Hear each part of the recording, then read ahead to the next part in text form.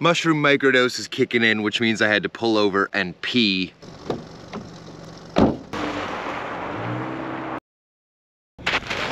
That's actually really fun, just carving up through the desert in the Subaru. All right, let's go. Here we are, a little update. We're at Bristol Farms here in Palm Springs. You can see we got the mountains and whatnot. It's pretty cool.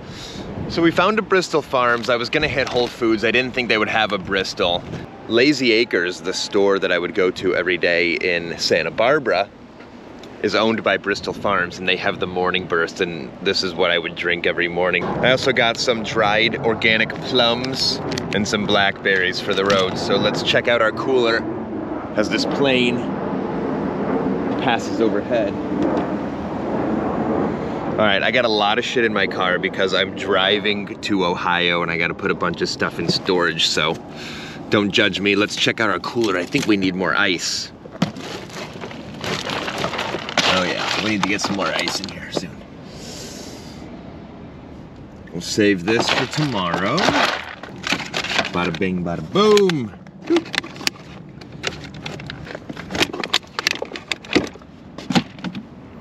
Okay, cheers.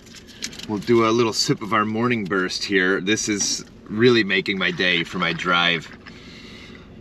Oh yeah, here we go. Compass tattooed on my chest. Oh dear. I got it a few months ago.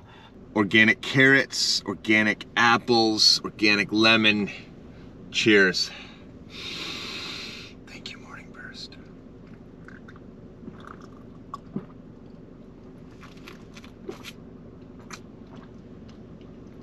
Whoa! Yeah! I'm trying to figure out what the plan is. Gonna head to Austin, see my friend Justin do a DMT ceremony, that whole thing, but that's days from now. So we're gonna figure out what the rest of our time is gonna look like. So I'll kind of show you guys how you can pick a, an, an exciting route for your drive. This is my 13th time driving across the country, something like that. Um, but I found a really southern route. So, okay, so if we put in Tucson, five hours and 24 minutes. Okay, that's the conventional route that's gonna take us through Phoenix. But as you can see here, if we wanna do an extra 10 minutes, there's this even more southern route, far more southern. We get to go right up next to the Mexican border and then we get to drive through the heart of the Sonoran Desert. There's no towns in here, there's nothing, so we're gonna have to make sure we're fueled up on gas. I got my food, we got our orange juice and water, and this is gonna be an experience that's way cooler than just like a busy highway full of cars headed to Phoenix. This is gonna be really unique, I've never done it. I'm gonna look and try to find some cool camping spots along the way where we can pop up the tent. Um, I don't plan on making it to Tucson today, it's 11 a.m. Um, and that's a six hour drive. I don't feel like doing that. The sun sets at 5 p.m. now. So, so yeah, we're gonna pop up somewhere in the middle of the Sonoran Desert. So that's what we're gonna do, guys. Um, they didn't have Mountain Valley spring water, so I'm gonna actually stop by Whole Foods, grab some of that. I'm gonna top off our cooler with some ice, put some gas in the car, and we're gonna fucking go drive through the Sonoran Desert and see what happens. So we're gonna get some tunes bumping, smoke some weed, and get to it. See ya. Okay guys, I'm about to show you a prime example of why you never take the quickest route or the most easy route. Because I just stumbled upon something truly magnificent that I'm about to show you guys.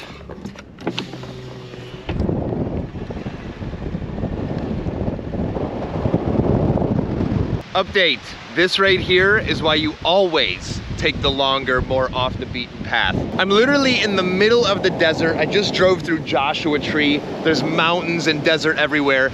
And randomly is this massive body of water called the Salton Sea. It is a landlocked body of water that is made up of deposits from the Colorado River, but it has nowhere to outlet to, and its only way out is through evaporation. So all the salts, all the minerals are left in the water, and it's 30% saltier than the Pacific Ocean. No life can live here. It's become extremely saline, and all life is pretty much dead in here.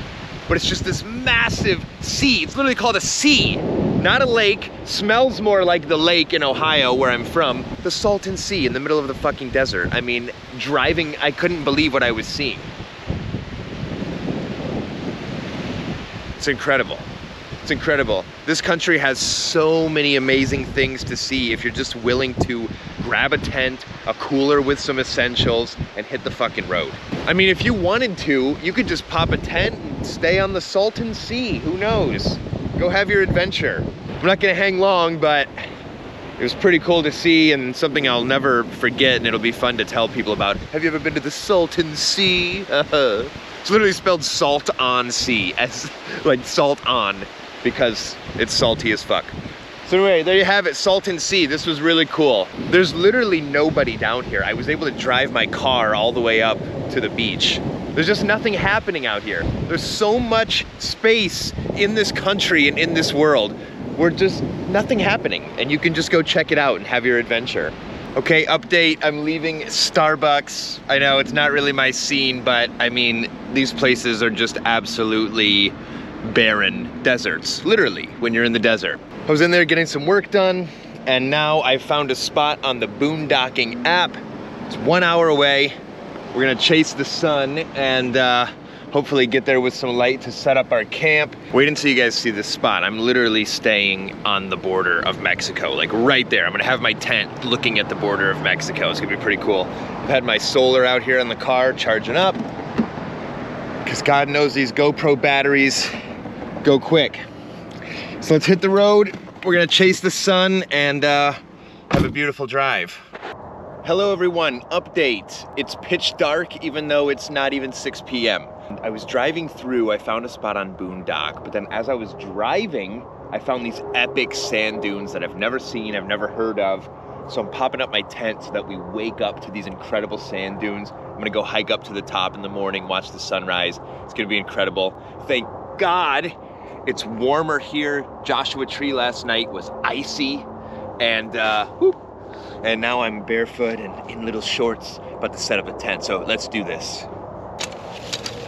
So I'm using a different tent tonight than the one I had last night. I think this one's gonna be a bit cozier, although it's proving a little bit more difficult to put up. Uh, it's a little bit different, but I think it's gonna be warmer setting up a tent is so simple. Don't ever let that stop you from not getting out on the road and camping. Literally, you can buy a $40, $50 tent at Target. So easy to put up and you can sleep anywhere. If you can just have a tent in a car, you're fucking good. You don't need wilderness experience to tent camp in America, okay? You don't have to be a Boy Scout. I mean, realistically, you're gonna be hitting up coffee shops and uh, eating Chipotle every day and then just pop in a tent. So it's very simple. Don't uh, let lack of outdoor time stop you. Okay, I might be wrong. These might not even be the right poles for this tent. Yeah. Yeah, this isn't going well. I'm gonna switch to the other tent, but still, don't let tents stop you. This one's just being complicated.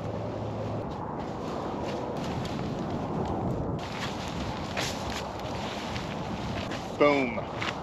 We have our shelter. I'll wake up looking at the sand dunes. Good morning, everybody. We are somewhere right along the border of Mexico, and as promised, I found some incredible sand dunes for you guys to see, and the sun is about to come up. So let's go check it out. Here's the tent setup, our camp for the night. Oh yeah, sun's coming up. Let's go. Ah. Woohoo! Oh, these are massive, massive sand dunes. Oh, and your feet sink in. Oh, ah.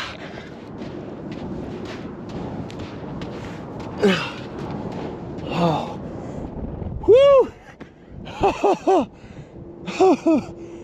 oh, oh. Wow. Oh.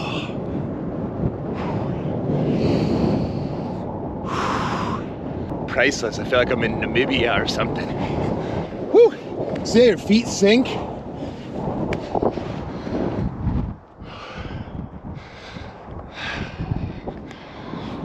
Ah. Good morning, father sun!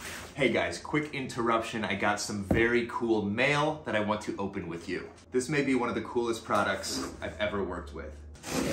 It is a mushroom grow kit. Boom, magic bag. Okay, oh, grow your magic t-shirt, nice dad hat, but most importantly, the magic bag.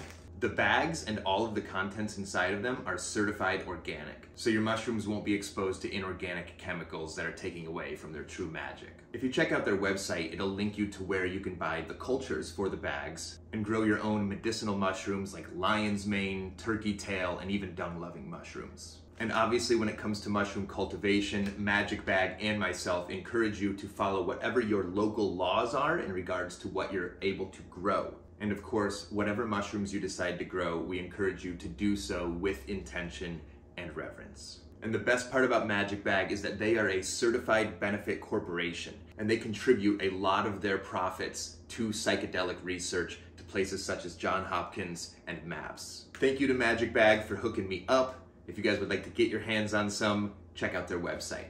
Now back to the video. Should we see if we can go to that taller point? It's crazy to think that we're hundreds of feet off the ground right now. Imagine falling down in here. Could be fun. Wow.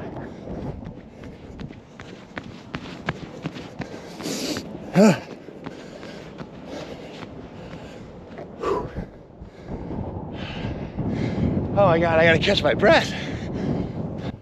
Wow. Wow. Wow. I'm not sure if the GoPro is doing justice for any of this. I hope so. Out here in the border of California and Mexico. Wow. Woo! Good morning, Father, Sun. Thank you for giving us another beautiful day! Wow. This is one I'll never forget. Imperial sand dunes. Who would have known? Tent is all packed up. We're gonna grab our morning burst juice. You remember we bought at Bristol Farms. And I need ice. Oh dear. Oh yeah. I need ice. ASAP. Throw our mic stand back there. Okay. Goodbye, California. Okay guys, little update. I need to shower. I have sand in my ear holes, in my eyes, in my beard. It just like falls out every time I touch myself. So I'm three hours out from Tucson. I am now in Arizona, so I've officially said goodbye to California. We're here in Arizona and we're gonna see what this place has in store for us. We're gonna head to Tucson, like I said. We got some uh, coffee. I found a really beautiful little coffee shop. We threw in some Keto Brainz and some malama mushrooms. This is my, uh, is what I throw in all my coffees on the road. So this is a, uh, a nootropic creamer that like really helps the acidity of the coffee. You know, it's got coconut in it and the MCT oil. It's kind of like a bulletproof coffee to go. And then I throw in Malama mushrooms, cordyceps cacao mix. This here is a bulletproof coffee, and the sad part about it is that it doesn't contain Malama mushrooms. Malama mushrooms is a staple in my diet. I put it in every single coffee I drink, but I'm here in Bali and I've run out of Malama Mushrooms, who happens to be the sponsor of today's video. Malama Mushrooms is a medicinal mushroom company based on the Big Island of Hawaii. They carry 100% organic fruiting body mushrooms, which is very important because a lot of companies are peddling you garbage myceliated grain that's a story for another video. But Malama mushrooms can offer you lion's mane, cordyceps, turkey tail, reishi, chaga, everything you need to support your immune health your brain function, and your energy. They have an eight mushroom chocolate bar. They have Kona coffee grown right on the big island of Hawaii where they're based. It's an amazing company and I'm honored to be working with them. And it is truly a sad day anytime I do not have Malama in my cup. So if you would like to not be sad like me, you can hit the link in my description and save some cash on your first Malama order. Massive thank you to Malama Mushrooms for sponsoring this video. Now let me get back to enjoying my subpar coffee. Please don't mind my car. I also got uh, this little thing, this little uh, power converter that you plug into a car charger, and I can plug in wall outlet stuff. Very handy for me right now. Let's see how this thing works. I'll keep you guys updated. I'm feeling good. We got a full tank of gas. Oh my God, and look at that. We got 777 on the dash, of course. Full tank of gas, and uh, our cooler is filled with fresh ice. The milk is ice cold. I just pounded some. Very happy. My car is getting a little bit messy. I need to get the Tucson and get my shit together, so that's where we're headed next.